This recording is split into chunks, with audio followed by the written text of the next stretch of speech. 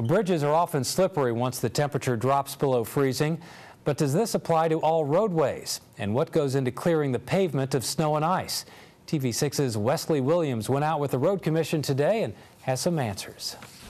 In the winter like this, it's a little tougher. When it starts snowing, everything's slippery. Operations Director Mike Harrington knows the toll that cold weather can take on roadways. We have forces available around the clock. Doing the best they can to keep up with Mother Nature, the Marquette County Road Commission clears the highways of snow and other frozen precipitation, a process he describes as a vicious cycle all winter long. If it's snowing so hard that we can't keep up with um, trying to keep the roads bare, then we'll switch over to a sand. And we have to wait then until the snow lets up and the temperature's right, and then we'll salt it and get it back to a bare road. Roads are slower to develop ice than bridges because the ground acts as an insulator, radiating heat onto the surfaces above it. Bridges, however, are completely surrounded by air. As the air temperature drops, the pavement cools quickly, allowing frost to form. And overpasses like this are treacherous for slippery conditions.